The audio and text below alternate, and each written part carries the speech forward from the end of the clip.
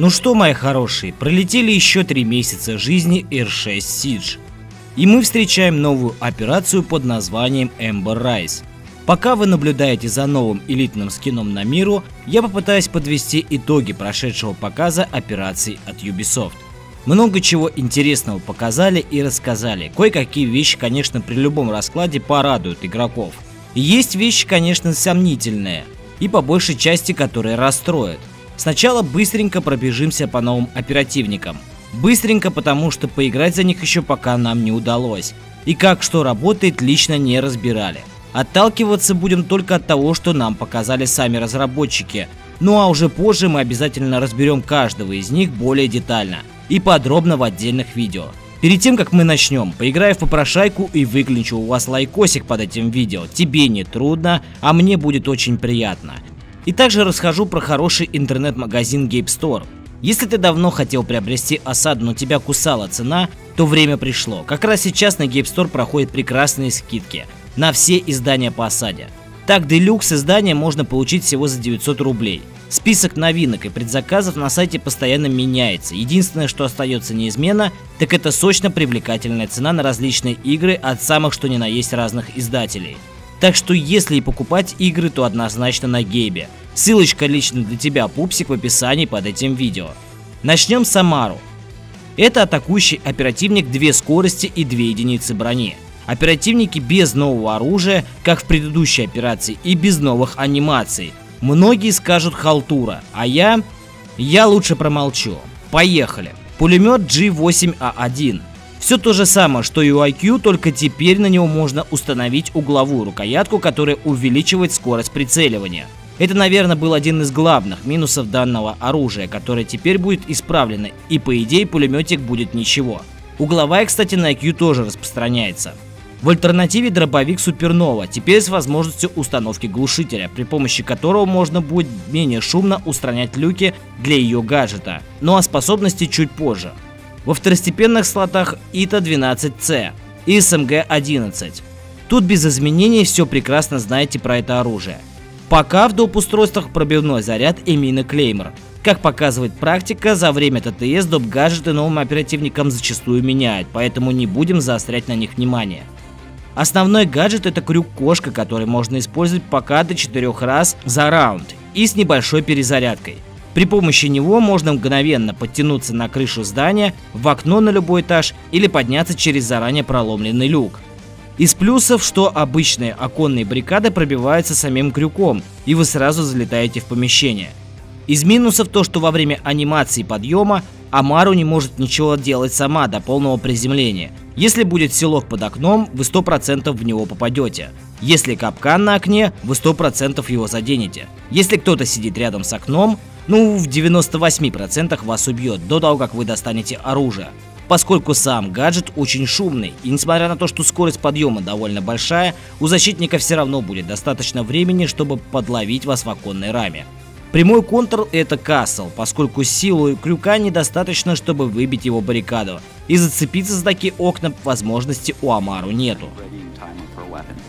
So she is a very fast operator, as we mentioned. but you do have the ability to hear her when she's coming and right. do something about it. Right. So it becomes important for an Amru player to play smart, not too aggressive, and really use roaming and quick speed to pop up one place and disappear and re-move somewhere else. All right, let's move on to the second option. Защитник Гою из Мексики. Как и в случае с Амару, нового оружия и анимации нету. Также две единицы брони и две скорости. Из вооружения в основном слоте Вектор, как у Мира, на который теперь можно установить удлиненный ствол, ТЦ СГ-12 со всеми обвесами, как у Каида. Во второстепенном слоте только один пистолет П-229. И в дополнительных слотах и Пакт, и С-4, опять же пока.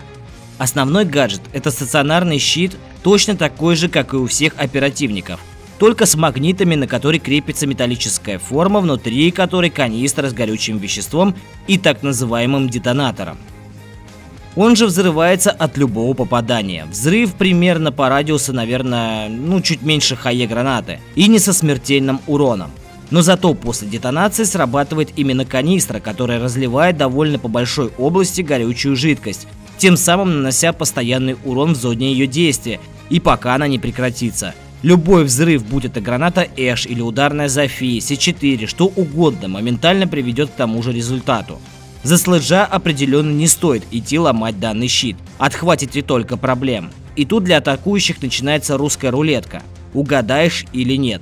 С наружной стороны обычные стационарки и щит Гойо выглядят совершенно одинаково, и придется обходиться с ними максимально аккуратно. Ни IQ, ни Тэтчер, ни Twitch не могут ни видеть, ни отключать, либо взорвать при помощи Twitch-дрона стационарный щит Гойо. Зато камера маэстро выстрелом детонатор приводит его в действие. И вот это, как по мне, самая классная связка на данный момент – как я говорил ранее, более подробно со всякими трюками данных оперативников мы выпустим отдельное видео, когда получим к ним доступ на ТТС, который открывается, кстати, 19 августа. Right, because if you started leaping over it, a defender could shoot it up. You'll be in trouble, yeah. Um, and then, much like Mira's canisters on her black mirrors, if you, well, anyone can shoot it, However, unlike Black Mirror's, un unlike Mirror's Black Mirrors, uh, Twitch drones cannot shoot the explosive on the back of it. Переходим к картам. Как Ubisoft и обещали, они сократят рейтинговый пул карт. Из него уберут крепость, лунопарк, напомню, что в четвертом сезоне нас ожидает реворк данной карты, и новый Хэррифорд.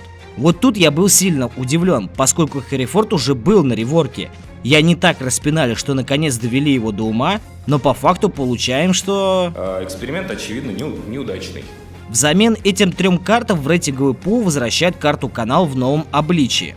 По балансу сказать сложно, поскольку мы также пока не имеем к ней доступа. Но как уверяют разработчики, их главной задачей было это изменить ситуацию со спам-пиками со стороны защиты. При этом разработчики признают, что как бы они ни крутили или вертели карту, игроки все равно найдут откуда и как заспавнить нападающих. Также был сделан акцент на обходные пути. Был добавлен еще один переход между главными зданиями. Сама площадь внутри увеличилась, и много территорий, что раньше являлась уличной, обзавелась стенами и стала уже территорией защитников. Появился еще дополнительный небольшой подвальный тоннель под лодками – который помогает переместиться из одной части левого здания в другую. Как и в случае с картой кафе Достоевский, вы можете наблюдать на карте излишнюю стерильность. Понятно, для чего это делается, лишний мусор на карте мешает при перестрелках, особенно в киберспортивной дисциплине. Да честно говоря, не только в ней. Но при этом карта теряет свою изюминку, становится какой-то шаблонный что ли. Даже не знаю, какое слово подобрать, но в общем я думаю вы поняли, что я пытаюсь сказать. Пока не забыл, в игру добавят новое звание – чемпион. Теперь оно будет являться самым высоким и будет идти после алмаза и выдаваться игрокам, которые перемахнут отметку в 5000 ММР. Также в игру завезут новое меню оперативников. Выглядит это, конечно, поживее, но сейчас такими фишками уже никого не удивишь. И впереди у нас самая скользкая тема.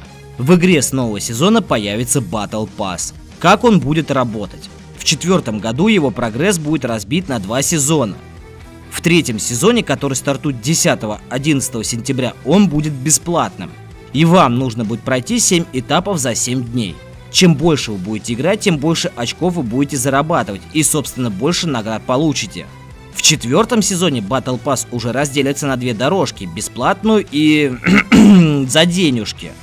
Призы, начиная от скинов, бустами на очки славы, альфа-паки, будут наполнены обе, но все мы прекрасно знаем, что самый топчик вещей будет в платной премиум дорожке и шлак типа как половина белых скинов из альфа-паков в белый для тех, кто не купит. Battle Pass. Тем, кто будет получать максимальное количество очков Battle Pass, также получат, судя по всему, новые истории из лора игры по разным оперативникам. И тут не совсем понятно, будет ли доступен он тем, кто не захочет покупать премиум версию пасса. Разработчики утверждают, что это хорошая возможность для них развивать и доносить лор и отношения между персонажами до игрока, чтобы игрок увидел развитие данной вселенной. Вот ты, сука, посмотри, как красиво заворачивают и преподносят, а? В тему о скинчиках. Не могу не упомянуть, что с 10 сентября в игру завезут новые наборы профессиональных команд. Некоторые из них уже получат по второй форме на разных оперативников. Нельзя не отметить, что команда из России Team Empire также получит свою форму на оперативника Бандит – Цены на Battle Pass и новые формы пока неизвестны. Мы пробежались по самым главным темам презентации от разработчиков. Вот такая она многообещающая операция Ember Rise. Спасибо, что посмотрели до конца. Пишите свои первые впечатления от увиденного в комментариях. Обязательно все прочитаю. Не забывайте поддерживать нас лайком под видео, если оно вам было полезно. Ну а я с вами прощаюсь. До скорых встреч. Пока-пока.